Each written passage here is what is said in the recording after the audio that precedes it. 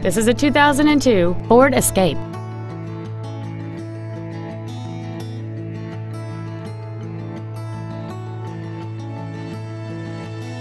All of the following features are included. Aluminum wheels, a chrome grille, fog lamps, roof rails, halogen headlights, an anti-lock braking system, and a CD player.